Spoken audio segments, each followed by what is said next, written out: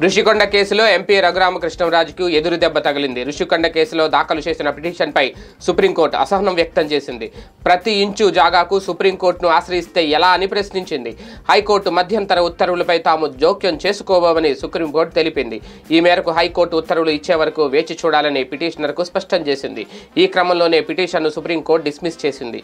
ఋషికొండలో రెండు కిలోమీటర్ల వరకు తవ్వకాలు జరిపారని సుప్రీంకోర్టుకు రఘురామకృష్ణరాజు న్యాయవాది ఫోటోలు ఇవ్వగా జోక్యం చేసుకునేందుకు అత్యున్నత న్యాయస్థానం ఆసక్తి చూపలేదు. అభివృద్ధి పర్యావరణం మధ్య సమతుల్యత పాటిస్తూ ముందుకు వెళ్ళాలని గతంలోనే సుప్రీంకోర్టు సూచించింది.